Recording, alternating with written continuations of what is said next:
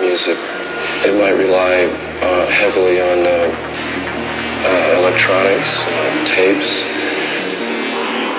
I can kind of envision one person with a lot of machines.